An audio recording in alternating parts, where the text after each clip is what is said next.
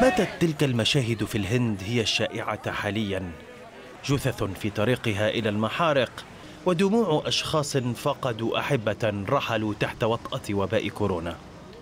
موجة إصابات جديدة مزقت البلد المكتظ بالسكان بسرعة مرعبة. فكابوس كورونا مدفوعا بطفرة خبيثة جديدة دفع النظام الصحي في الهند للانهيار. إمدادات الأكسجين المنقذ للحياة استنفدت إلى مستويات حرجة وترك المرضى يلهثون ويموتون على أبواب المستشفيات. لليوم الرابع على التوالي سجلت الهند رقما قياسيا عالميا للإصابات الجديدة إذ اقتربت من حاجز 350 ألف إصابة خلال الأربع والعشرين ساعة الماضية كما سجلت أكثر من 2700 حالة وفاة.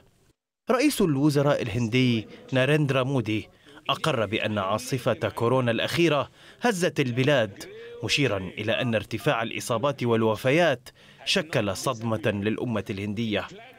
مودي حاول رفع معنويات شعبه مؤكدا التغلب على الأزمة قريبا. ما بين تصريحات رئيس الوزراء الهندي وقتامة المشهد على الواقع باتت البلاد تسجل أربعة عشر ألف إصابة كل ساعة. ووفاة واحدة كل أربع دقائق. في وقت تصر السلطات أن اللقاحات ستكون متاحة لجميع من تتجاوز أعمارهم 18 عاما بدءا من الأول من مايو. إلا أن خبراء يقولون إن كمية اللقاحات لن تكفي لتطعيم الأشخاص المؤهلين وعددهم 600 مليون هندي.